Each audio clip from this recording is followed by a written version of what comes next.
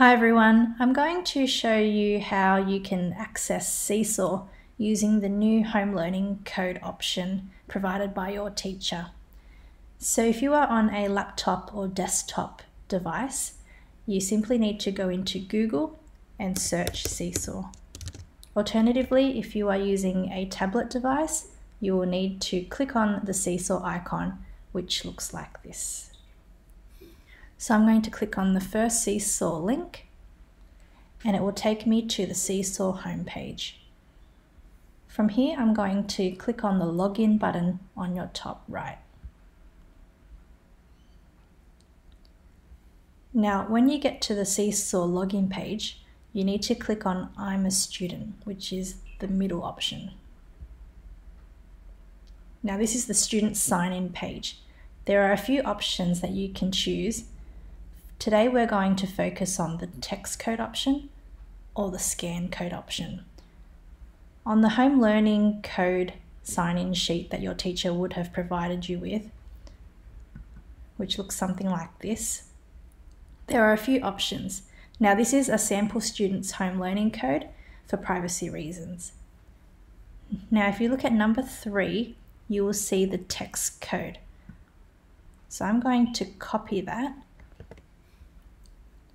Alternatively, if you are on a tablet device, you can click or you can scan the QR code just here. So I'm going to come back to the text code box and paste in the text code from my home learning sheet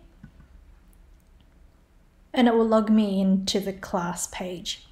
Now on the left, you can see a list of all the activities that the teacher has assigned for me.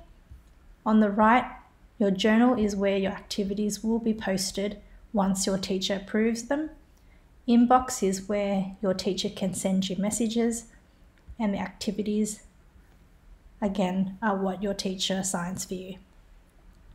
Now, if once you do uh, complete an activity, so I might go into this one for example.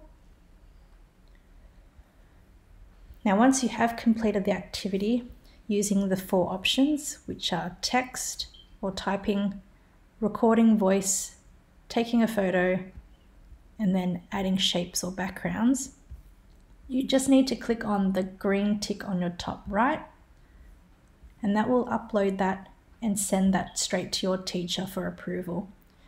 Once he or she has approved it, it will come up in your journal. I hope that helps today. If you have any other questions, please don't hesitate to contact me, and I hope you have a great day.